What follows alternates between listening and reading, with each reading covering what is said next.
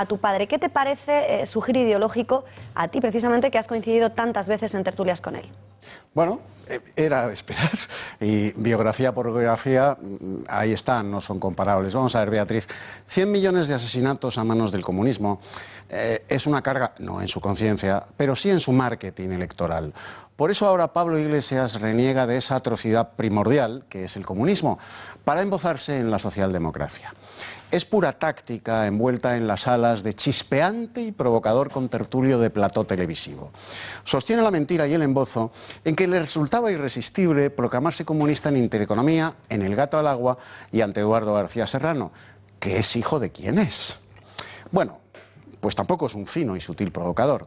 Es un chistoso tabernario que utilizó a nuestra compañera Beatriz Rojo, el aquí, como blanco de una broma obscena sobre la utilidad que él le daría a un anillo que Beatriz promocionaba publicitariamente. No es un provocador.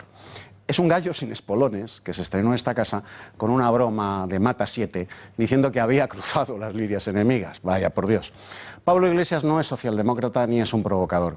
Pablo Iglesias es comunista, sencillamente. Y por cierto, Pablo, efectivamente yo soy hijo de quien soy, Rafael García Serrano, uno de los falangistas que le dio trabajo y pan a tu abuelo, que era comunista.